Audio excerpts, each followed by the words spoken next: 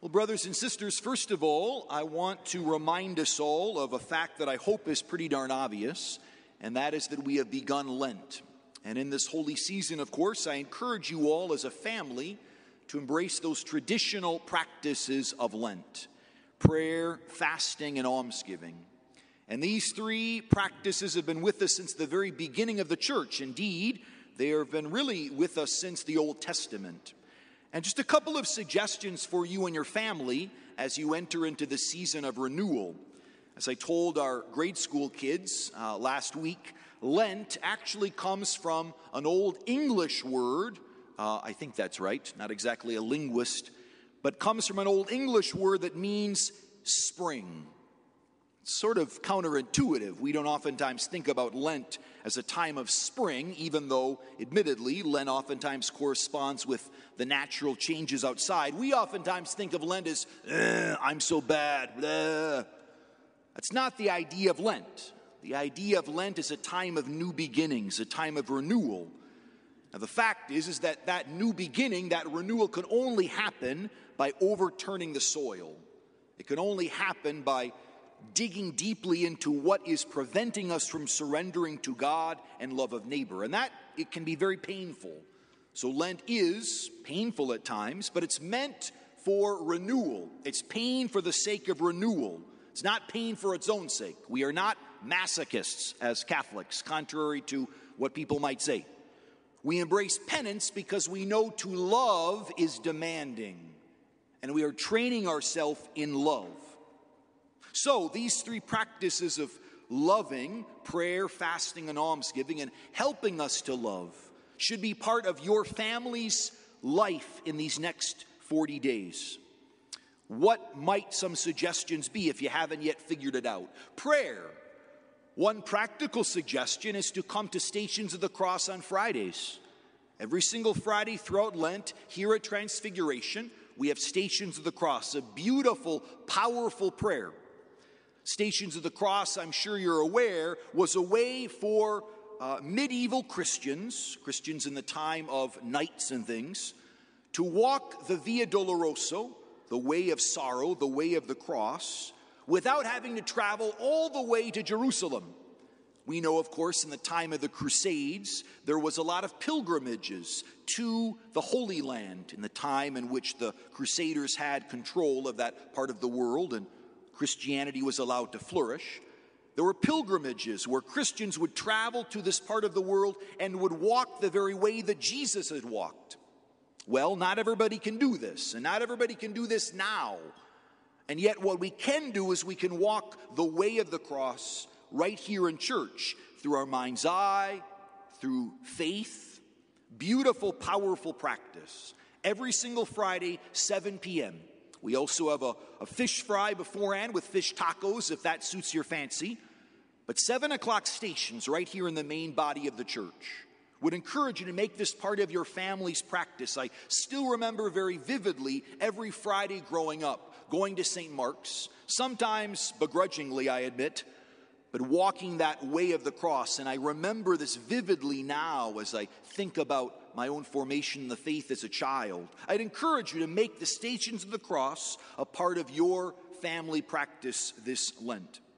Fasting, a couple of practical suggestions. Certainly, uh, some more obvious ones are giving up sweets at home, giving up particular TV shows we like, maybe giving up TV altogether during the week. I know we're all getting in cold sweats when I say that, I know.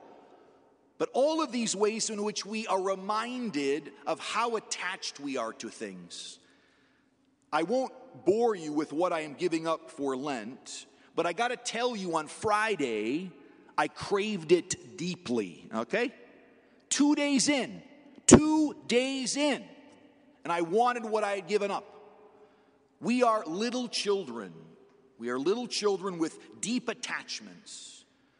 So I urge us all to find something that we as a family we know are just too attached to and to strive to let go of it, to feel, if you'll allow a, an expression that's taken a political turn these days, feel the burn, okay? Feel the burn. Feel the longing for that thing. Why? Number one, again, it reminds us of how attached we are to created things. But number two, it also inspires us for that feeling of longing that we should have for Jesus and for love. We experience what we should experience towards God. It's a reminder of uh, our own sentiments, our own uh, attractions, what they should feel when turned towards the Lord. And there's a kind of a, a training there. We let go of even goods. Good TV shows can be a good, a wonderful meal certainly is a good. And we let go of that to strive to yearn for the ultimate good, who is God. How oftentimes we can dull our, our need for God or our awareness of our need for love through good things. Again, TV shows. I'm amazed how much Netflix one can gobble up in a day or in an evening or in an afternoon. Hours that could be spent in love of neighbor, in prayer, in meditating upon the scriptures, fasting.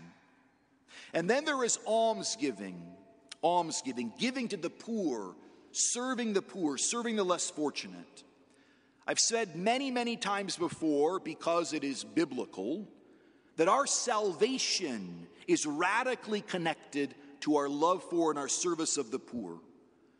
There is one scene, as I can recall it, within the Bible, within the gospel specifically, excuse me, where judgment happens. And on Judgment Day, given to us, this scene given to us by God Himself, what does He say? He says, Whatever you did for the least of my brothers and sisters, you did for me. He doesn't ask about a lot of other stuff, but he does say, What you did for the least, you did for me. Almsgiving, service of the poor is a critical part of the Christian way of life. Indeed, I would say it is the, the hallmark of the Christian life, of the Christian society, of the Christian parish, even. How are we treating, how are we loving the poor? The poor in our midst, the poor in our own family, the poor in our neighborhood. Brothers and sisters, uh, our budget, our monthly income, our yearly income, uh, and how we spend that income is a theological statement. It indicates what really matters to us. Now, brothers and sisters, I can have lots of warm, fuzzy feelings about Jesus, okay? But if my pocketbook doesn't indicate that I am a disciple, it doesn't really matter. At the end of my life, it won't really matter. I think Jesus will say to us, Well, yeah, you said a lot of nice things, but what, what did you do? What did you do for the ones that I love, for my brothers and sisters? So, almsgiving is about helping our neighbors, certainly financially, if we can, but also with our time, giving our, of our time to volunteer, to be of service to those who are the least among us. Almsgiving, especially for you young people in the parish, uh, oftentimes looks like that. It's volunteering, it's being present. Now, volunteering, how are you supposed to do that as a third or fourth or fifth grader? Well, perhaps one can volunteer one's time by reaching out to a classmate that is going through a difficult time, by reaching out to a sibling who is really having a, a time of loneliness by reaching out to our parents, even, who themselves can be the poor in certain moments of sorrow, certain moments of being overwhelmed. What a beautiful thing to ask your mom or your dad, Do you need a hug? That can be a kind of an almsgiving. We give to the poor. But for those who are adults, for those who are parents, I urge you to examine your checkbook and to see how you are spending your money. By the way, I would just offer that to support one's parish, while not exactly almsgiving, no, it's not, no, it's not, that is also a necessity of the Christian way of life, to financially support our parish. Prayer, fasting, and almsgiving must be a part of your family practice this season. And then I just would like to offer, before I dive into the real meat of this morning, confession. I urge you all as families to come to confession at least once during this holy season of Lent. We have confession a lot here at Transfiguration. Come on down And no matter how long it has been since your last confession, no matter how ill prepared you feel, come on in. We are eager to receive you with the Lord's love, with the Lord's mercy. I'm sometimes kind of astounded that there can be individuals who have been Catholics all of their life and practice in terms of coming to Mass with regularity, volunteer, serve the poor, serve the parish. But they haven't been to confession in years because it's hard. Because it's hard to admit one's failure. Because it's hard to say out loud, I messed up. I haven't done what I should do. But it's critically important, critically important. So I urge you, look at the schedule of confessions that we have. Saturdays in the mornings, Saturdays in the afternoons, Sundays in the morning, Tuesday in the morning, Thursday in the morning. In Lent, we'll have some extra confessions throughout Holy Week and make a point of coming to confession as a family this Lent. All right, let's talk about love. Love as the fulfillment of the new commandment. Brothers and sisters, Jesus Christ himself says that all of the law and the prophets are summarized in the commandment of love of God and love of neighbor. We read this in 1970 of the Catechism, 1970. The law of the gospel, that is, what are we to do? What ought we to do? Requires us to make the decisive choice between the two ways and to put into practice the words of the Lord. It is summed up in the golden rule Whatever you wish that men would do to you, do so to them. This is the law and the prophets. The entire law of the gospel is contained in the new commandment of Jesus to love one another as he has loved us. This is the soul of Christian morality love, caritas. But let's think about, in the words of the song, what is love? What is love? It's not simply affirming the other it's not simply being with the other, though that is absolutely critical, as we'll mention in a moment. It is, in fact, recognizing what is the purpose of the human being, what is the purpose of their existence, and striving to assist them in the fulfillment of that purpose. What is their end? That's a philosophical term. What's the purpose for their being? What's the end of this pulpit? Not when we throw it out, the end of this pulpit in this kind of language is to be used for the preacher to stand at, to proclaim the gospel. What is the end of the church? Well, not a hundred years from now when the church collapses, heaven forbid. The end of the church is it's a place for worship. It's the place where the Christians gather together in the household of God and worship God in spirit and in truth. What is the end of the human person? Union with God forever. The end of the human person is union with God forever in heaven. Brothers and sisters, when I work with married couples, or rather couples who are preparing for marriage, I always tell them, you will be asked on Judgment Day, did you bring your spouse closer to me? Did you bring your spouse closer to me? Or did you just have a really nice, fun life, which is great and good? But it's not enough. It's not enough. Those who are married have a radical responsibility to participate in the salvation of their spouse and of their children, to bring them into contact with the true and living God, to help them fulfill the purpose of their life. There is so much, so much loneliness and despair in our world. We know, as we've said before, that child depression is higher than it's ever been before, at least as we are recording it. Even things worse than that damage done to their own bodies and to themselves out of despair and loneliness. And I think that a critical part of this, one of the reasons why, is because there's a forgetfulness about what it is that we are made for. We are made for not just success in the workplace, not just the alleviation of pain or the avoidance of pain, not just experiences, lots of experiences, lots of mountaintop experiences. No, that's not enough. We must know why we are and the purpose of our existence. to be in communion with God. And this is happiness to know why we are made, to know how we are to act to achieve our end, to fulfill our purpose. Brothers and sisters, happiness, since the very beginning of um, thinking about human action, has always been understood as the principal driving factor of action. Aristotle, Plato spoke about this thousands of years ago. A human person can't not want to be happy. We want to be happy. The trouble is is that we define happiness in different ways. Some people define happiness as being able to exert your own influence on things. You are independent. That is happiness.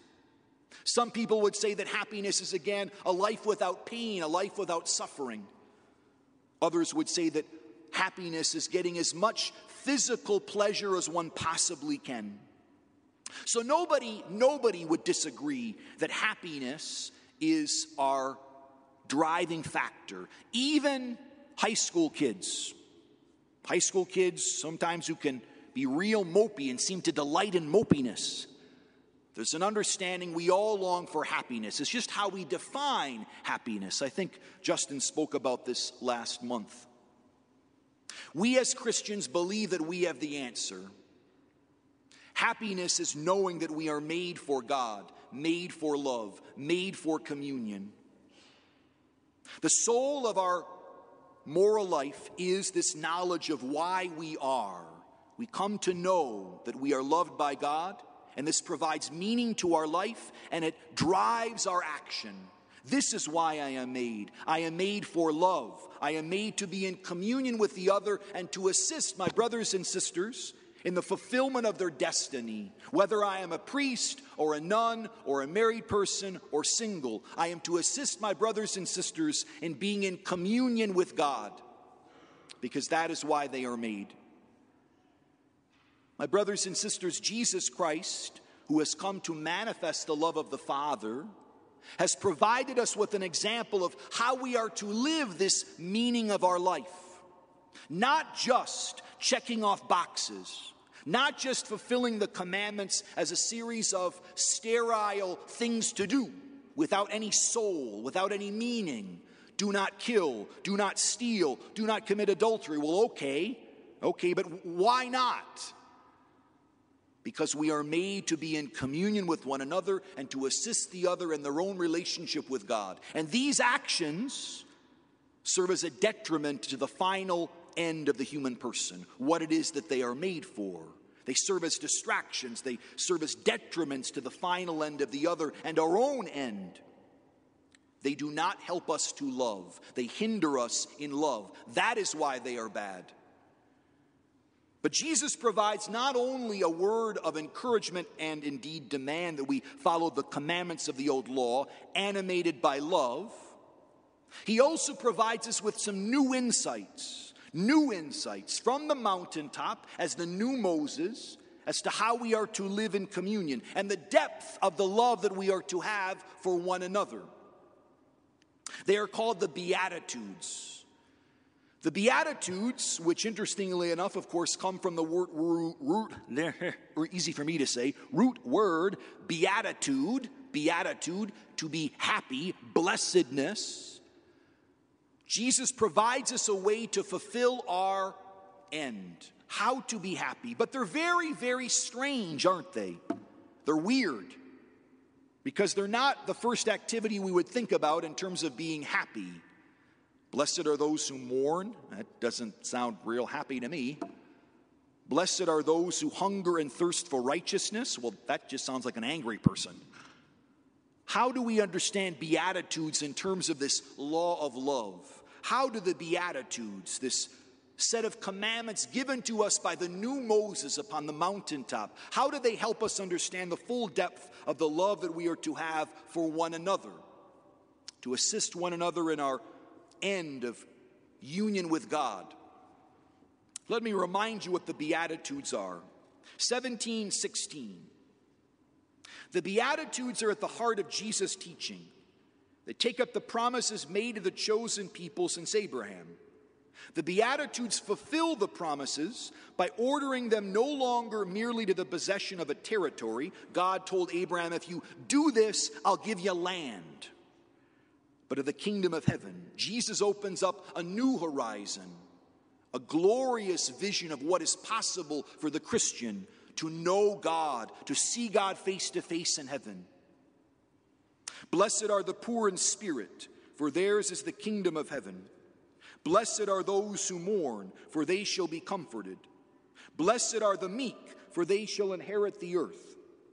Blessed are those who hunger and thirst for righteousness, for they shall be satisfied. Blessed are the merciful, for they shall obtain mercy. Blessed are the pure in heart, for they shall see God. Blessed are the peacemakers, for they shall be called sons of God. Blessed are those who are persecuted for righteousness' sake for theirs is the kingdom of heaven. Blessed are you when men revile you and persecute you and utter every kind of evil against you falsely on my account. Rejoice and be glad, for your reward is great in heaven. Did you hear that?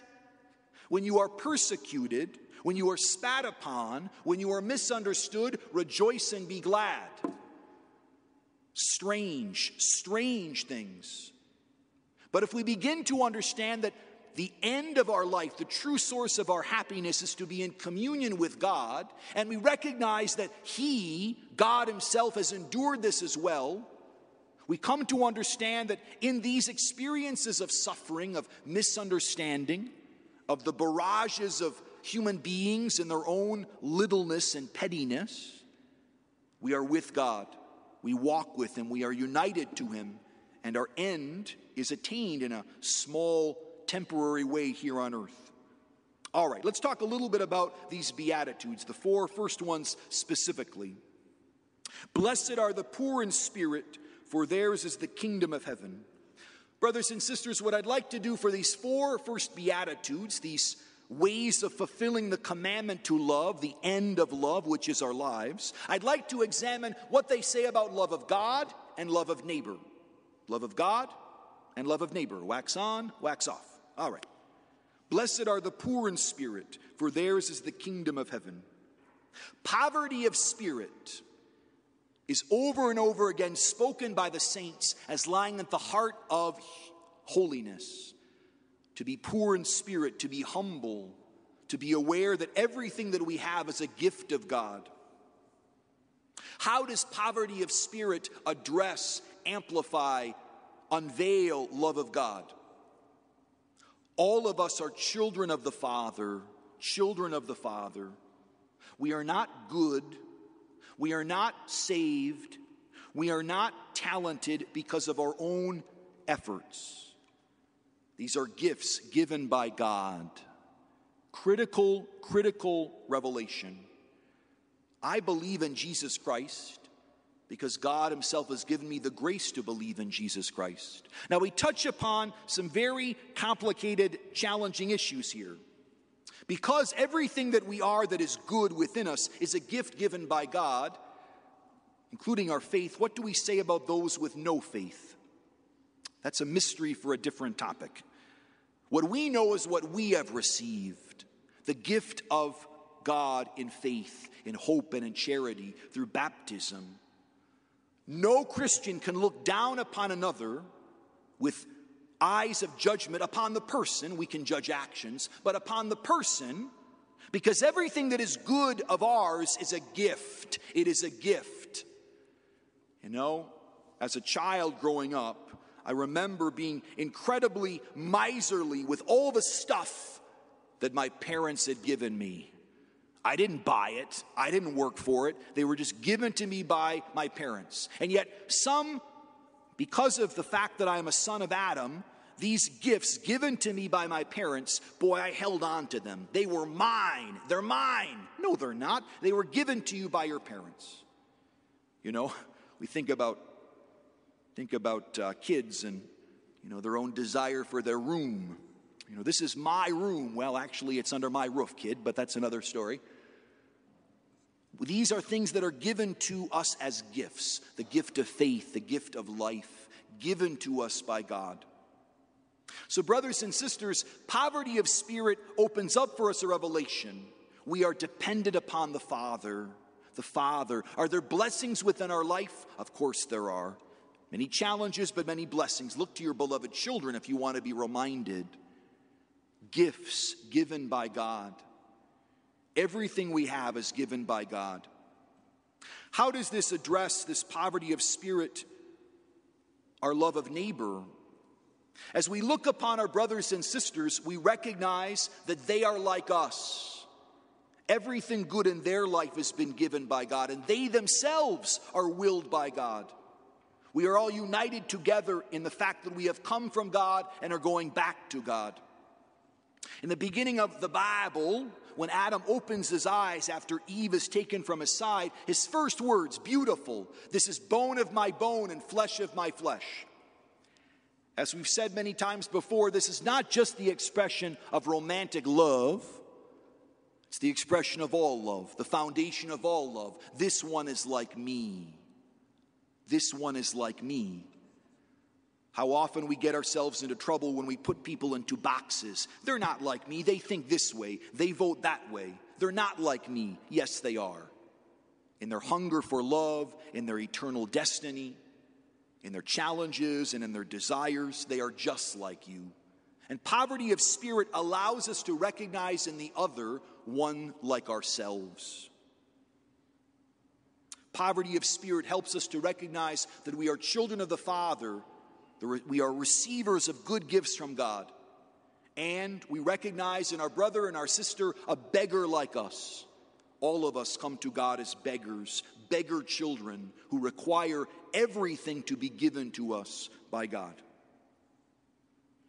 Blessed are those who mourn, for they shall be comforted. This is a tough one. Blessed are those who mourn. Tell that to the mom who has to lay to rest her young child. Say that to a, a, spouse who has lived 60 years of his life with a woman who has defined his very existence and now is gone. Blessed are those who mourn. Come on, Jesus, get real. And yet we know here that the Lord is speaking again in a way that is rooted in our fundamental destiny, our fundamental dignity.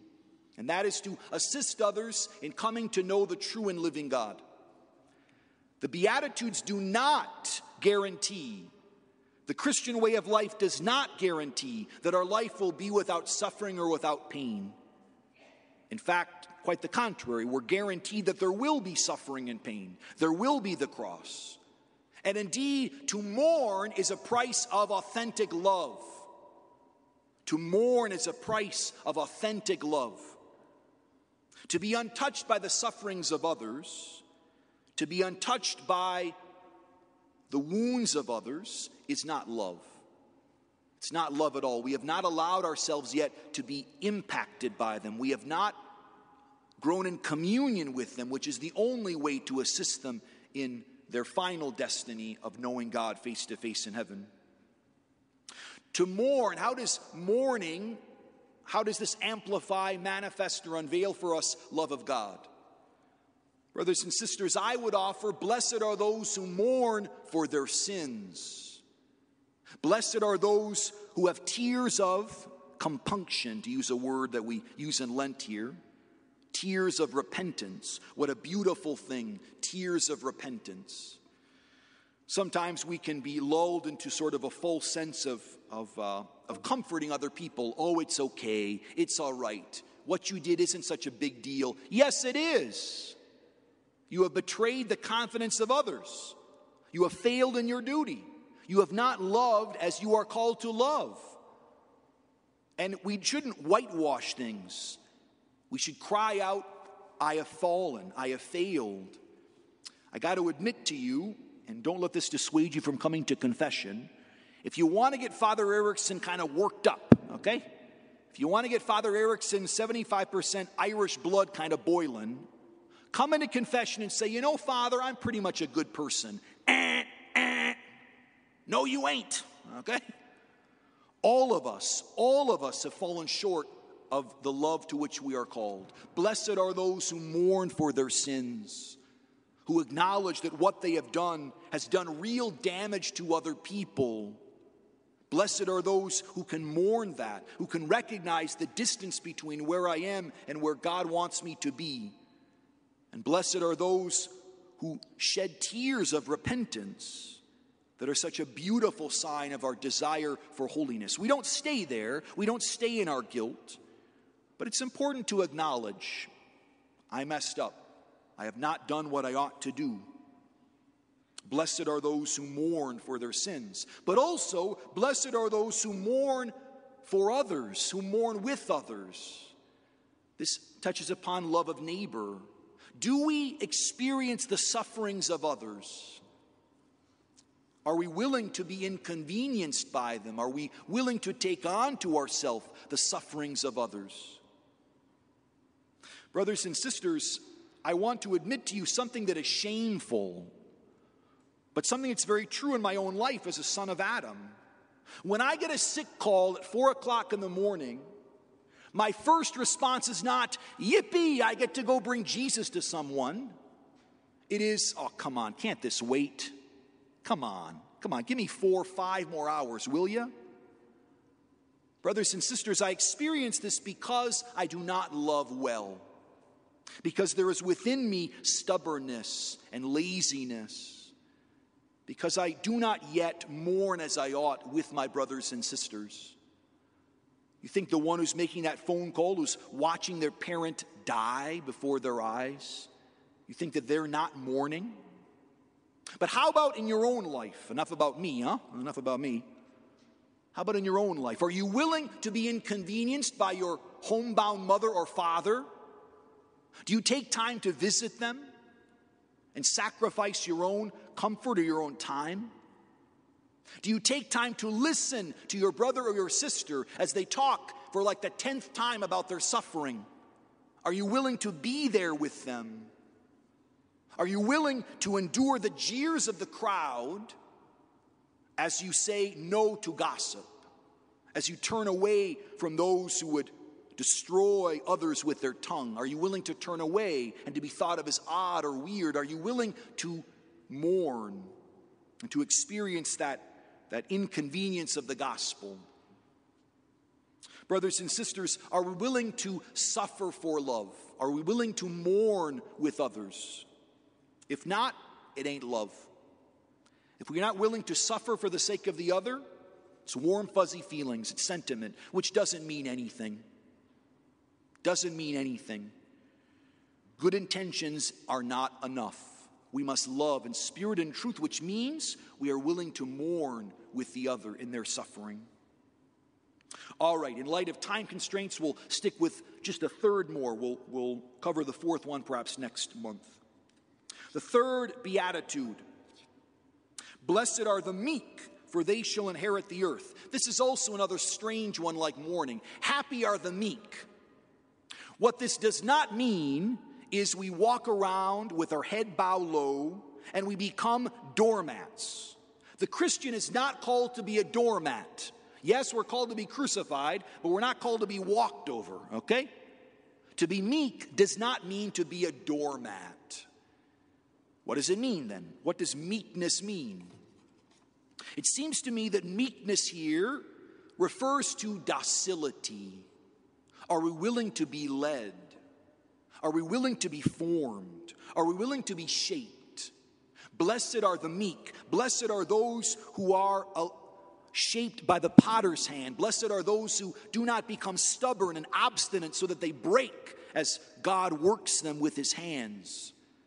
Blessed are the docile. Blessed are those who are willing to be open to formation, those who are willing to be formed. So many, so many of us assume that we do not need more formation. And this happens in the Christian way of life a lot. You know, I went to Catholic school, I went to high, Catholic high school, I went to Catholic college. Come on, I, I don't need more formation. I don't need it. What job? What job would allow you in a professional capacity to go through your entire life without further formation? Not a job that you would want to entrust your life to, nurses, doctors, lawyers. These are all individuals who must go through continuing formation, continuing ed. And yet we think that, you know, a parochial school education or faith formation programs is enough for our understanding of the greatest thing in our entire life, our faith. No, it's not enough. We must be meek. We must be open to continuing formation, even when it's given by a young whippersnapper like Father JPE. We're called to be open to formation. Meekness, open to God's formation, open to God's word, open to God's direction. You must love your enemy. You must love the poor. You must give sacrifice on Sundays, every Sunday coming to Mass. You must seek and strive to form your children in the faith. These are the commandments given by God. Are we meek to them? Are we, are we open to them? Meekness and our relationship with others. Are we sensitive to others' needs? Are we open to an awareness, to a sensitivity of what others need? This can be hard sometimes because sometimes what people need can seem rather exhausting. They can desire and need our compassion, our patience, our love. Are we open to the needs of our neighbor, or, are the only thing that we are aware of is our own needs, our own comfort, our own satisfaction? This is not love. We must be meek to the needs of others, especially our spouses. Maybe they just need some time with you. Maybe they just need some words of comfort. Not words reminding them what they haven't done, but remind them how much you love them. Maybe your children need this. Maybe you yourself need to reflect upon your own um, lack of openness to the sufferings of others and of their own needs. Brothers and sisters, what does it mean to be happy? It means to see God face to face in heaven. That is the, that is the, the real meaning of happiness for every single human being. And we are called to assist one another in the fulfillment of that end. To do so, to help others in their own knowledge of God, we must be in communion with them. We must be willing to enter into their lives. We must accompany them. We can't simply look at them from afar. We must be with them. Let us pray for the grace and the strength this holy season of Lent to be with one another so that we might help all of us get to heaven and be with God, our ultimate source of happiness. Again, I want to wish you all a very blessed Lent, and don't forget those three activities prayer, Stations of the Cross on Fridays, right here, 7 o'clock, fasting, giving up sweets or TV shows or a particular activity. Uh, that we might be overly attached to as a family. And then, third, almsgiving. What will we do as a family and as individuals to serve the poor in our midst? And then, confession. Would love to see you all or hear you all in confession sometime during the holy season of Lent. Let's kneel for a, uh, a glory be.